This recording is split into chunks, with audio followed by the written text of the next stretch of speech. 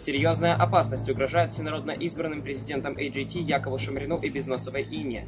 Сегодня агенты наших спецслужб перехватили письмо террористической группировки Церцерис, в котором сообщалось об организации покушения на лидеров сети AGT. В письме обнаружилось послание следующего содержания. Внимание всем постам! Вследствие наших долгих расследований мы выявили уязвимые места враждебной нам сети AGT, лидерами которой являются субъекты под кодовыми номерами 754 и 845. Их изображение мы прилагаем к письму. В данный момент мы находимся на стадии подготовки к покушению на вышеуказанных индивидов, ввиду чего начинаем отбор команды, готовой исполнить миссию. Отбор будет совершен на основе цепочки заданий и шифров, разгадав которую победители войдут в ряды отряда. Задания будут запущены завтра в 15.00. Церцерис. Мы призываем всех сохранять спокойствие. Спецслужбы AGT делают все возможное, чтобы доставить президента в надежное место.